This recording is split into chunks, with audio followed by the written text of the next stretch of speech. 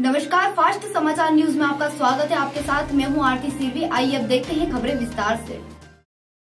ग्राम पंचायत सियरमऊ में बनाया जा रहा है घटिया निर्माण की जाँच। अब पाँच सदस्यीय टीम करेगी जानकारी के अनुसार 12 से 14 लाख की लागत से किया जा रहा स्टॉप डैम का निर्माण।